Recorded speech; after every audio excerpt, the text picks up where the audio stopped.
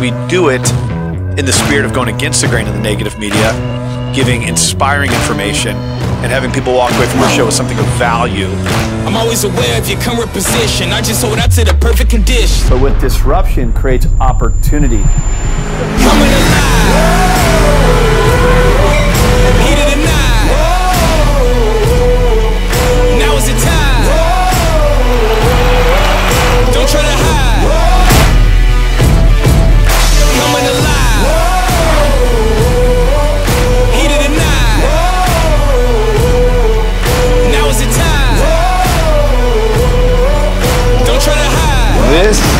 This is the American dream right This here. is it.